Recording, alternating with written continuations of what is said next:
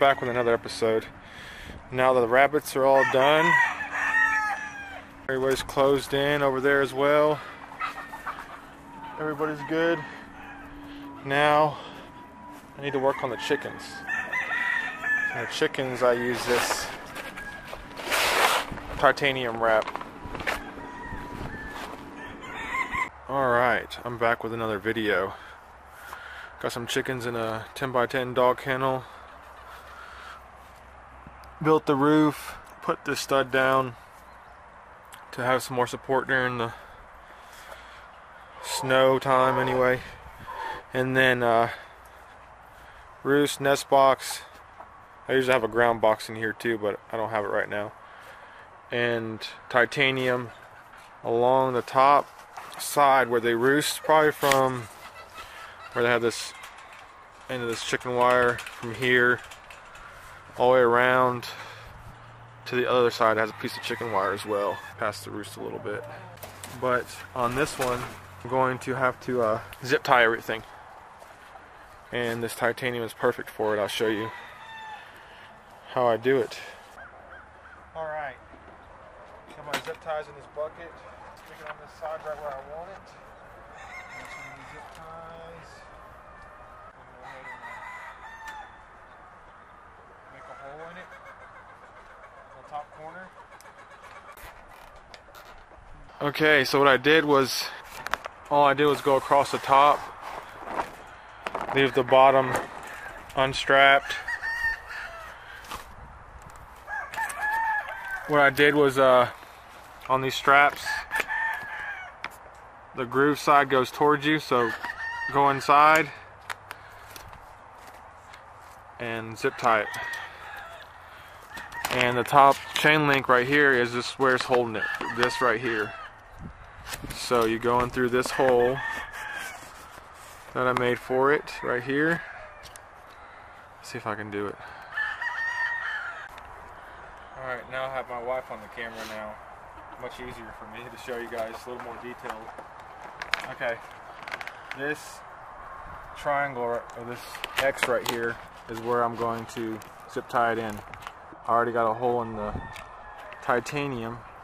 Make sure your rivets are facing towards you. Hook it in. Lock her down.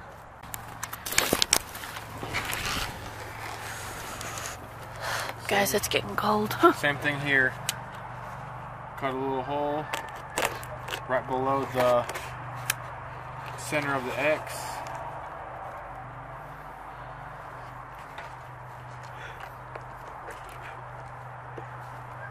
Stick it in, bend it over.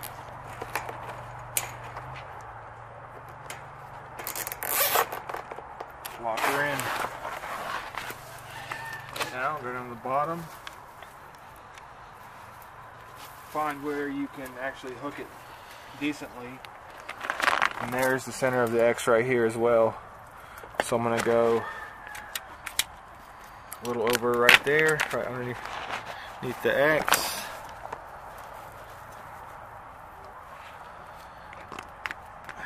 Zip tie it in. Loop it over, stick it in the zip tie. Remember I said you can get these zip ties, they're cheap and get a big bundle of them. Tractor Supply. That one's good to go. Find another X. Right here is a good one.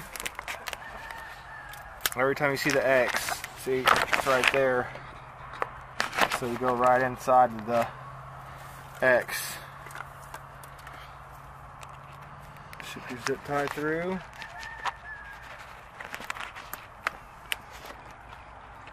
bend it over. Just work your way along the bottom. So the top's already in. Stab a little hole in it. I'm gonna do two holes in this one because this one gets a lot of wind. The corners usually, the bottom corner usually gets pretty windy. Stick it in. This is going to be a tricky one because you got to go through two holes.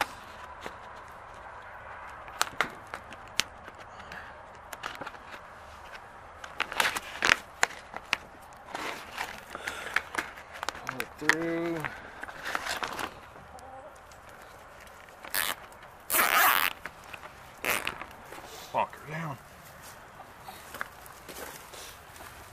Up here.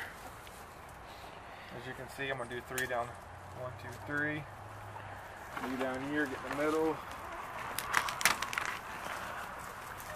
Put it in there.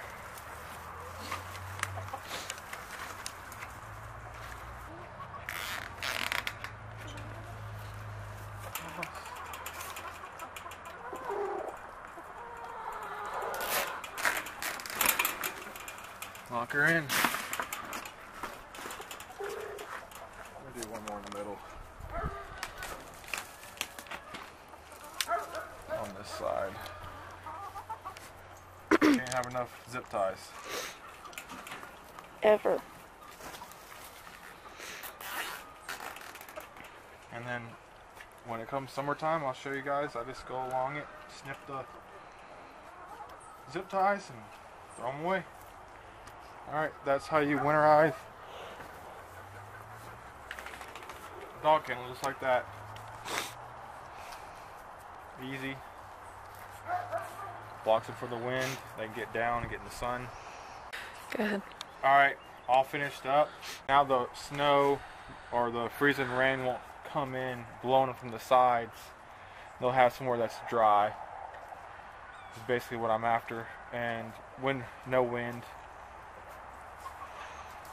And this is uh, another way how to winterize your chickens. Because it is dropping temperature fast here.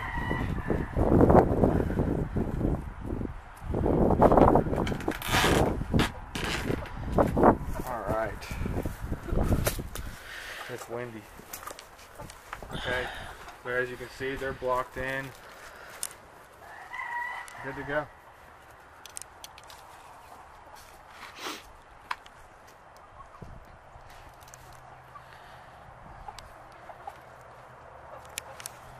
Alright, thanks for watching Ruby Homestead and the grass is kind of growing and we'll see you guys on the next episode. Thanks for watching. Make sure to like and subscribe. This is Ruby Homestead. Get some button caps. See how this pin right here just has a corner?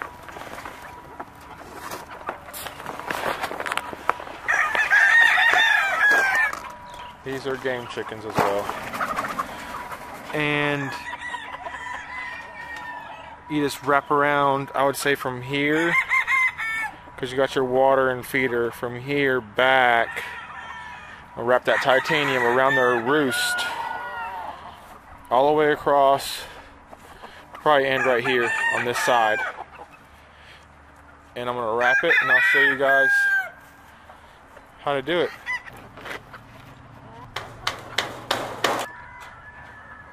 Pull it down a little bit, but stay on your top side so you can keep your line. I'm just going with this blue line that's on the side of it and eyeballing it from the other side.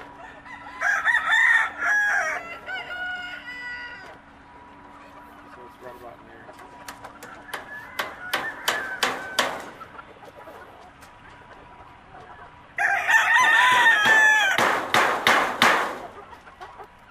Drive it in. So I'm gonna stop right there so they when I move it no matter what way the side the water's on to expose the sun so it'll melt a little bit too.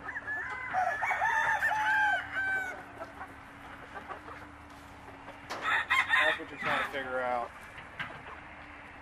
when you close uh, these kind of pins in.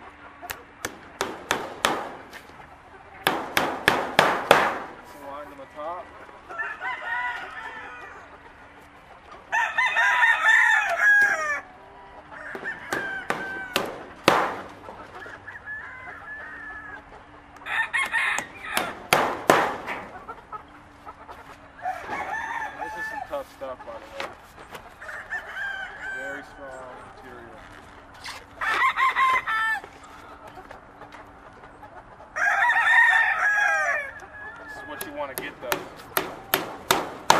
expensive a roll,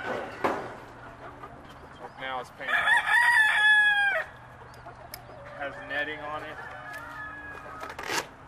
so if the wind does catch it,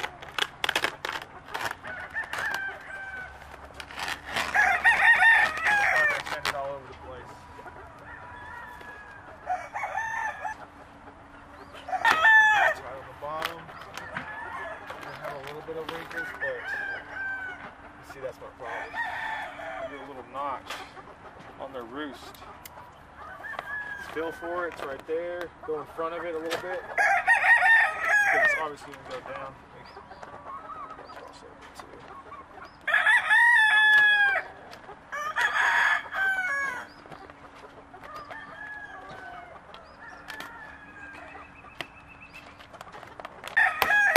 Always go across the top because it's a lot easier to fix your corners. Then you go down to your bottom.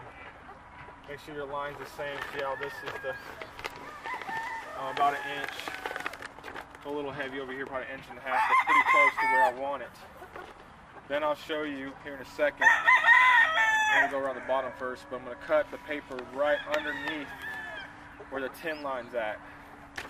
So it'll go right underneath. So it kind of makes it kind of waterproof, but still, it's more for a windbreaker.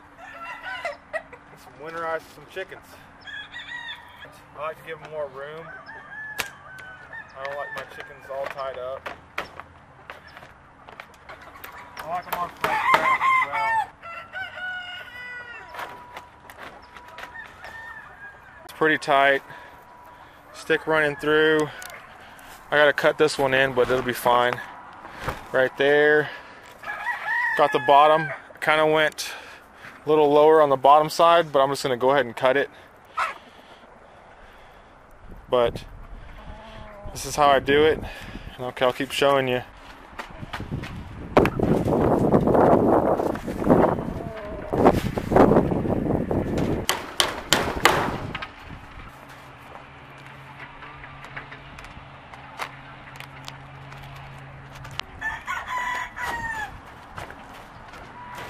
Okay, this side's underneath the tin.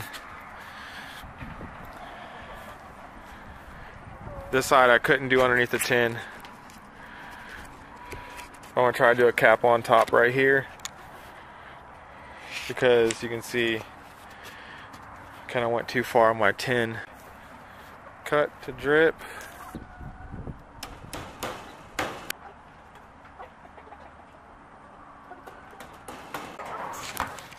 This pin, as you can see the water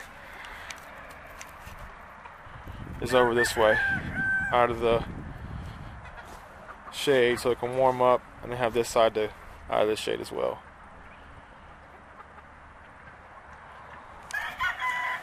Sun a little bit there. Very nice looking though. Now we'll probably show some videos on how to make these pins. Little chicken pins. It's a little trio, two hens and a rooster. Game hens do lay a lot of eggs. Which we like, don't we girls? Eggs. Kind of like a leghorn egg, I would say. Alright. And that is how you winterize a chicken pen. Got two nesting boxes. One right there. I can move around where I want. Oh, just throw some dirt off.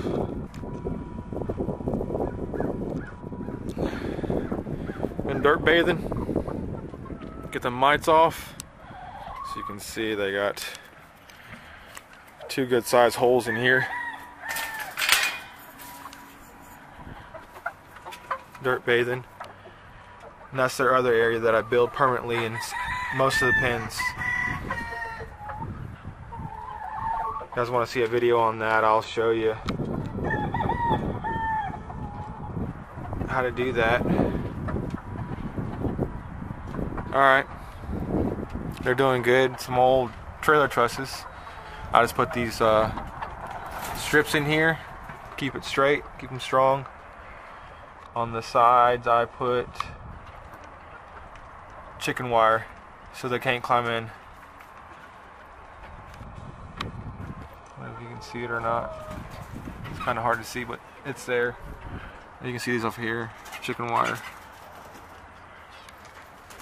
As for an extra hinge.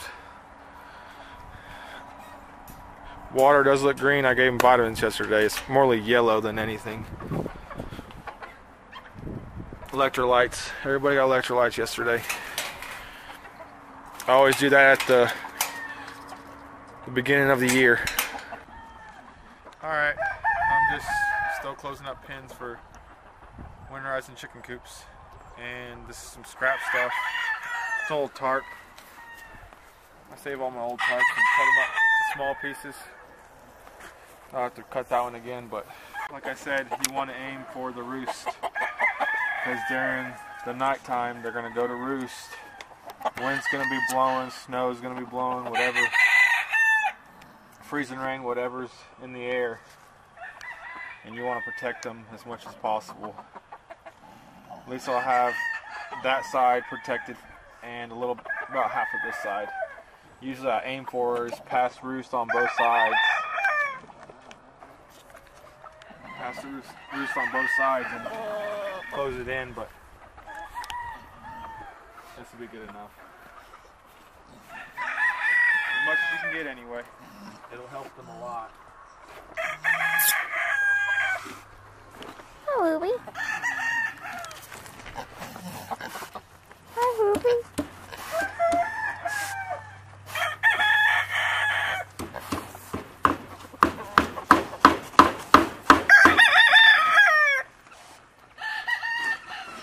So she's.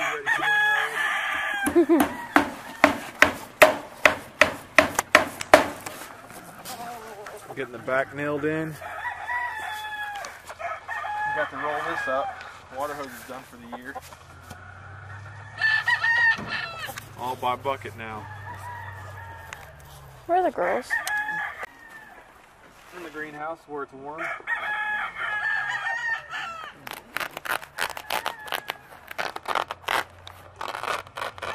Nice. Ladybug.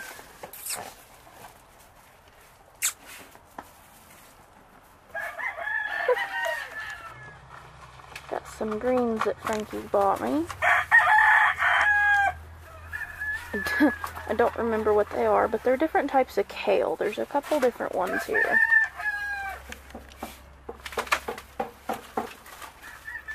We just put them in this bed in the greenhouse. They seem to be doing okay. The little lettuce transplant's kind of looking pitiful, but. And then all of these are, well, it's a little bit of everything. There are some greens in here. There's some, should be some lettuce, I hope. Some spinach, I really hope. Um, just all the cold hardy stuff, not the cauliflower and broccoli and all that, but.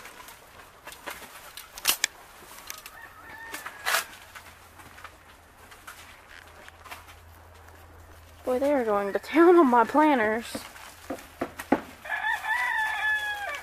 It's okay, everything in there is done, I'm sure.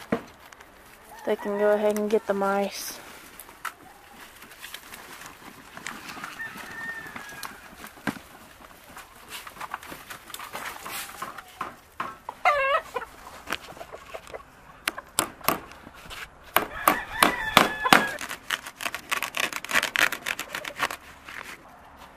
Everybody's freezing their knickerbockers on that metal roof. I don't know why they don't like the. The wooden one, probably because this one. is up. But Nikki, hold me over here. This is Flex Wrap. If you ever do buy it, it's for setting windows and doors and stuff. Just to flex wrap your ROs when you're framing. It's your rough openings. Okay, so this thing doubles in size. That's why it's called Flex Wrap. So get about halfway. It's right about there.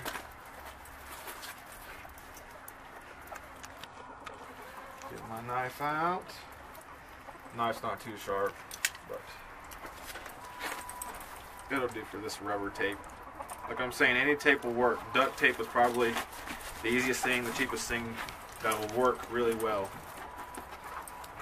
But I plan on this stuff last for years. Like I said, my knife's pretty dull. This will last for years. Duct tape won't.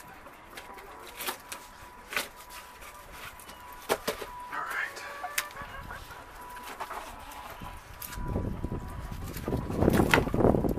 You want to hold the. See, I needed two people because what you do is you pull it apart, take the white part off. This is the rubber side. I mean, you can stick it to something and pull on it. Don't let it touch. You don't want to let it touch the ground because they'll instantly grab stuff. Pull on it.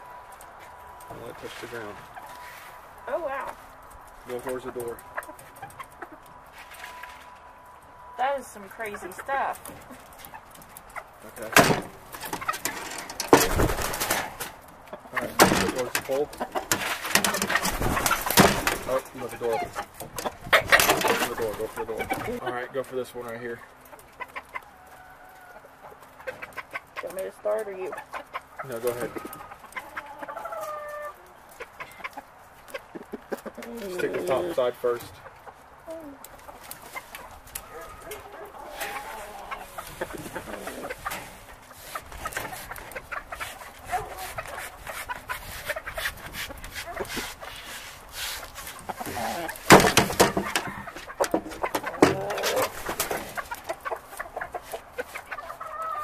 Good. You want to wrap it? Yeah, get the camera. The chickens are jumping on the coop.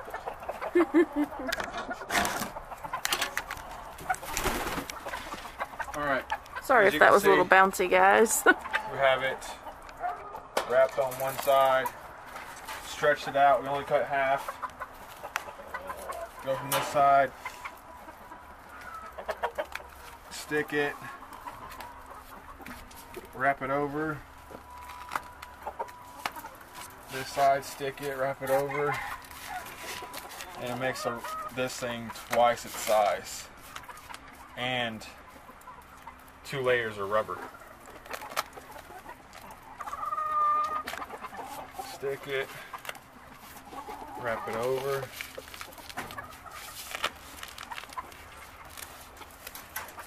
I mean, it don't gotta be perfect because it's just for chickens. But they'll really enjoy this.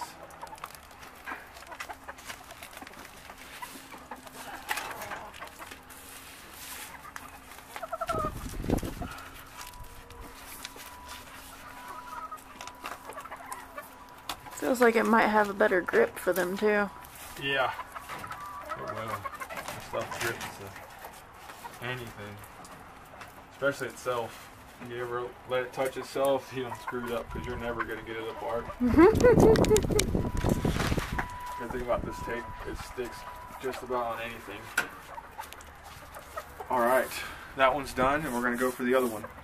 You can definitely tell a difference. I mean, this is still cold, but it's not even close to how cold the actual metal is. Oh yeah. Okay. Do the same thing here. Hold me over here. Okay. What you do is the same thing. I just did it on this one. Get about halfway right here.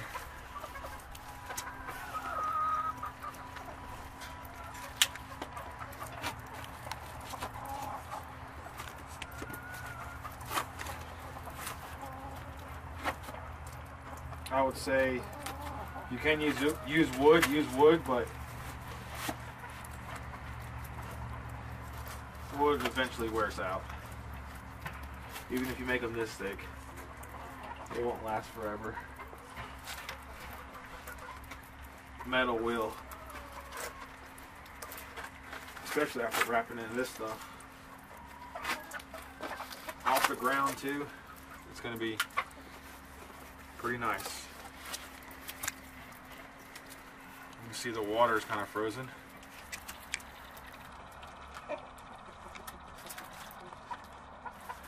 Pretty rooster.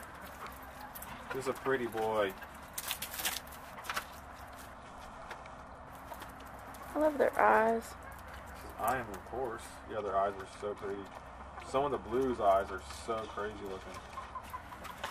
I have one blue hen that looks like a sparkle in her eyes. Here you go. Grab that side. Pull it like that. And I'll do as much as I can, but I usually just stick it to something that. If you're doing it by yourself, stretch it out. It's harder to stretch like that, but you can do it. It's not impossible.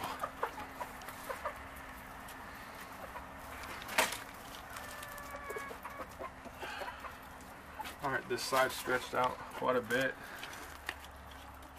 I'll go ahead and start it right there. Stick it on this side. Wrap it over a little bit. Go back to here. And then get the rest of your stretch.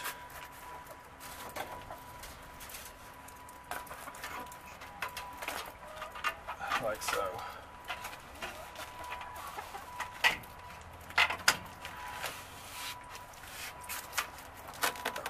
Too far over. We'll be okay. And this part right here. Like stuff is really sticky. Uh, I'm not joking.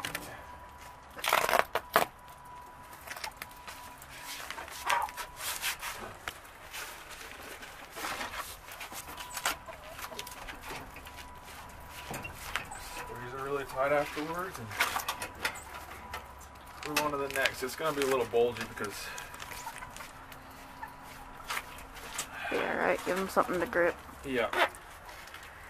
But they'll have plenty of grip and it'll be a lot a lot warmer for their feet. Because that's why they like to stay off the ground sometimes because the water, the ground's frozen. They like to get on the roost. The roost ain't much better, so and this I like this dome thing because it's an old satellite dish. Put some scrap tin on it and they can just come right up in it right here and For the most part, they're already out of the wind. yeah they're already out of the wind exactly For the most part. And the heat rises and it'll all catch right there and bounce back down on them. for the most part For the most part. You know, never mind the little pinholes, but yeah. Thanks for watching. I showed you a little how to save some material on wrapping your little small pins extra tart titanium whatever you have. And I showed you how to wrap some uh, metal roosting poles. So thanks for watching. Bees are not active at all. And uh, some moo in the back with the fire